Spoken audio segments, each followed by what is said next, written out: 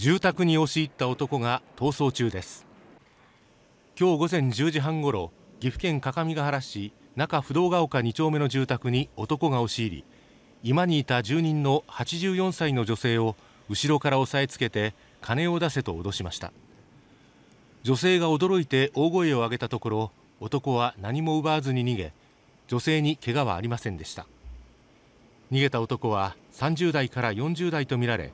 身長160センチほどの痩せ型で